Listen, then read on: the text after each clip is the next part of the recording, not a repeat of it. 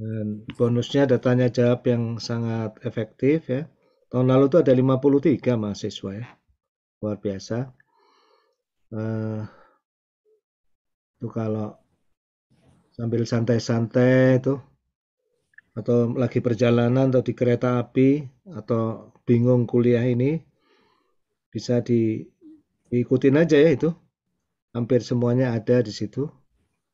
Kemudian bisa membantu Selain itu dari kuliah tahun lalu itu sudah saya bukukan yang mudah-mudahan hari ini bisa di distribusi Pak Amir ya. Jadi eh, yang penting bukunya nyampe ke Bapak Ibu ya, silahkan. Eh, bagi yang memang eh, mampu silahkan diganti biayanya. Kalau yang nggak mampu nggak apa-apa, tinggal tulis surat saja. Nah, kesulitan apakah karena untuk keperluan yang lebih penting, silahkan saja nggak apa-apa. Atau mau ditundakan juga tidak ada masalah. Saya sedang mengusahakan penerbit ITB ini buat uh, playbooknya ya. Jadi nanti bisa di playbook.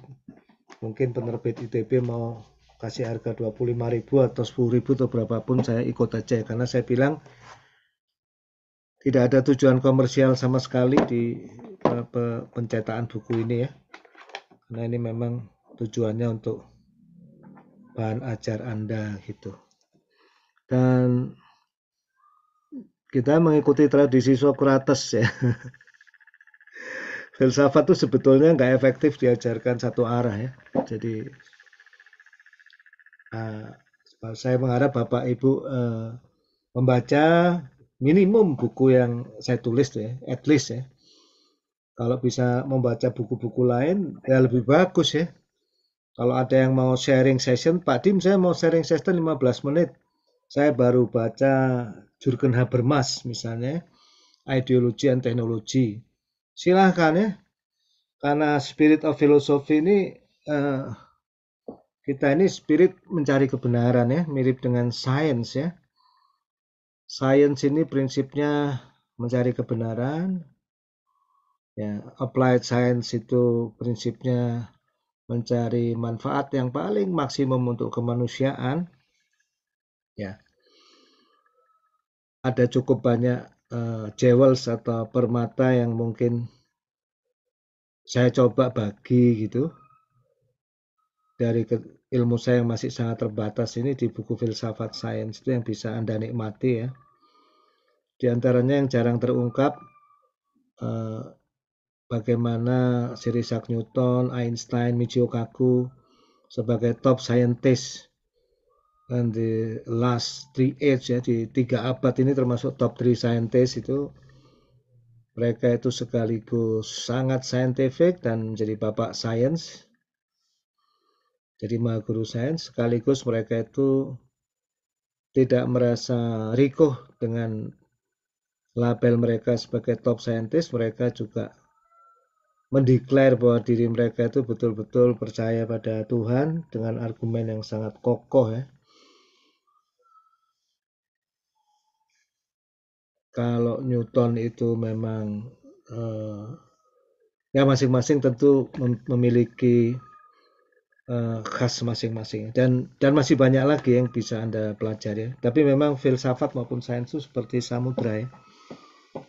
Jadi very important point ya bagaimana filsafat sains itu bagi bapak ibu-ibu bisa menjadi proses ya proses untuk menjadi seorang dokter seorang saintis seorang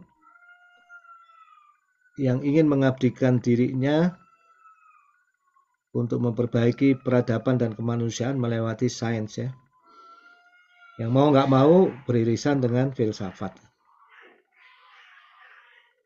Mohon maaf ini lagi ada noise di luar rumah. Mungkin kalau masuk itu kucing bertengkar ya.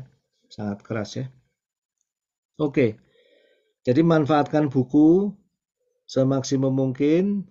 Saya harap uh, mungkin nggak Pak Amir ya, itu gimana cara pengambilan hari ini ya? Ada yang mewakili mengambil atau bagaimana?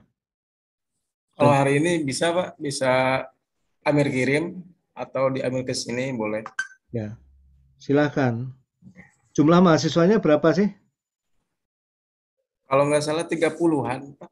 32 kalau nggak salah. Itu 36 tuh. 32 ya. Ya udah, 32 aja langsung di drop dulu.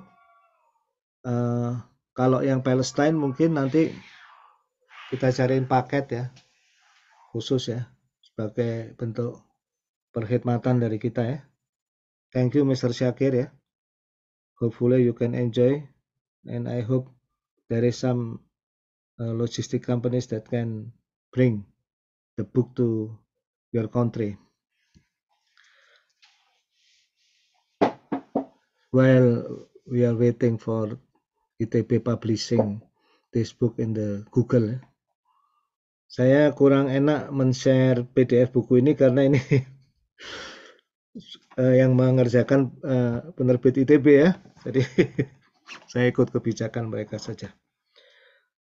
Oke, uh, kita review dulu kuliah minggu lalu ya, sedikit ya. We will review last week. Jadi kembali pada philosophy of science yang akan kita bahas. Ciri khas filosofi itu adalah logis.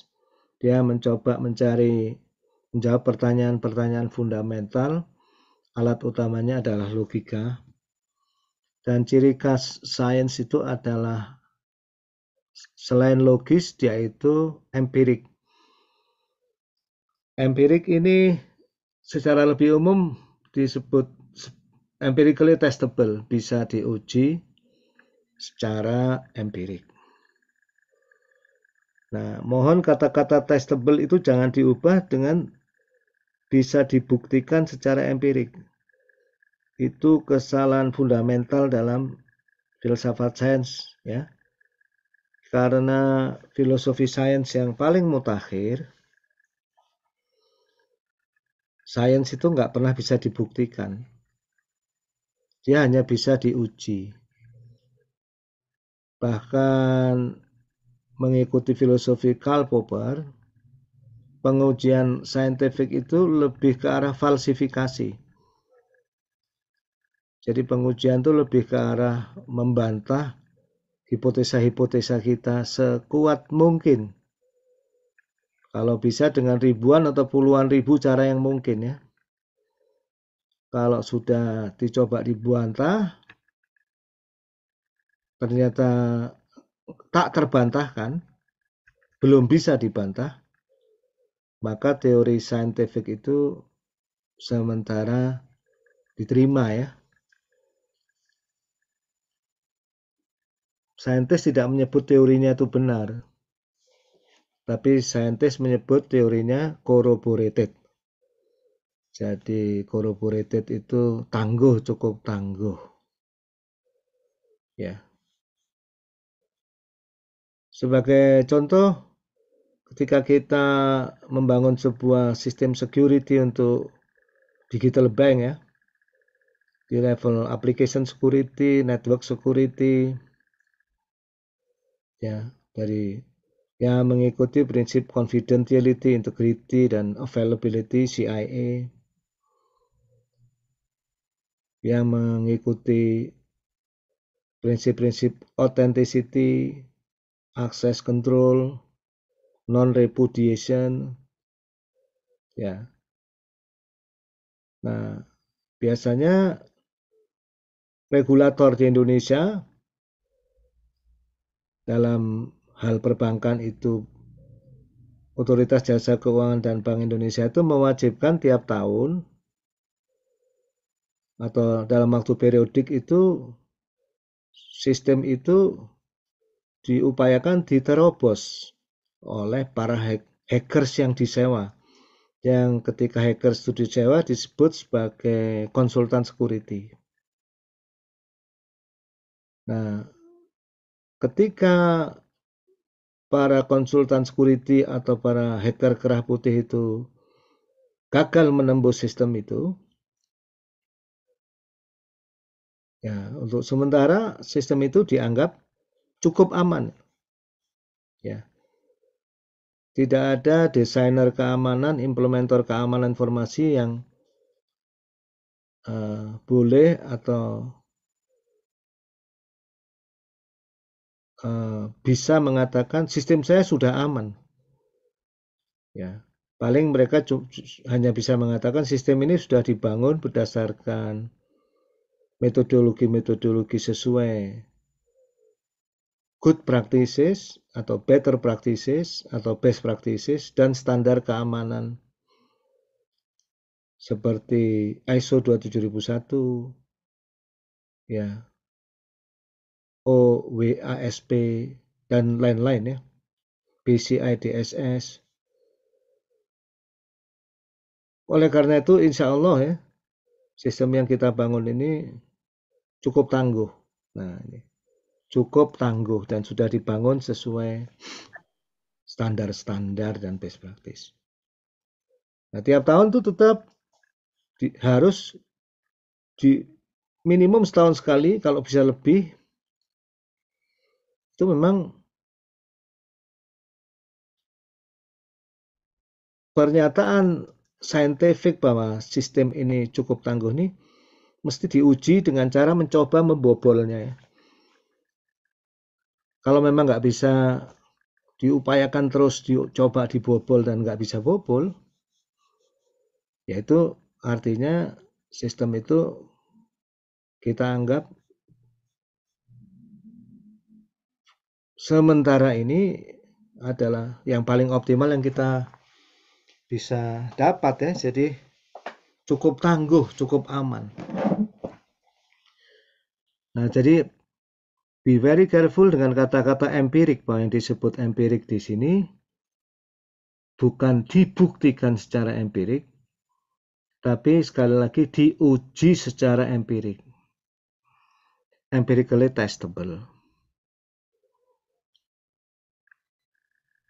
Yang kalau mengikuti filosofi logic of scientific discovery dari Sir Karl Popper itu testable itu lebih ke arah falsifikasi. Nah, coba Anda pikirkan ya, ini dampaknya ke disertasi Anda ya. Karena tugas akhir, tesis maupun disertasi ini masih banyak yang miss ya. Misalnya kalimatnya begini. Hasil eksperimen membuktikan kebenaran teori. Nah, itu masih sering saya baca itu. Nggak bisa membuktikan itu. It is not a good way of thinking philosophically. Ya.